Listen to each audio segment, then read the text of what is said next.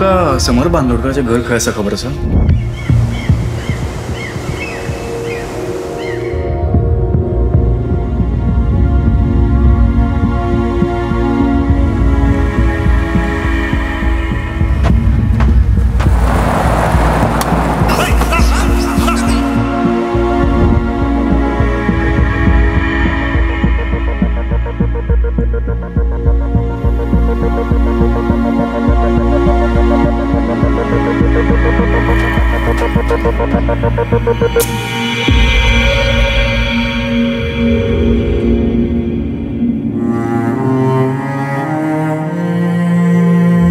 Welcome.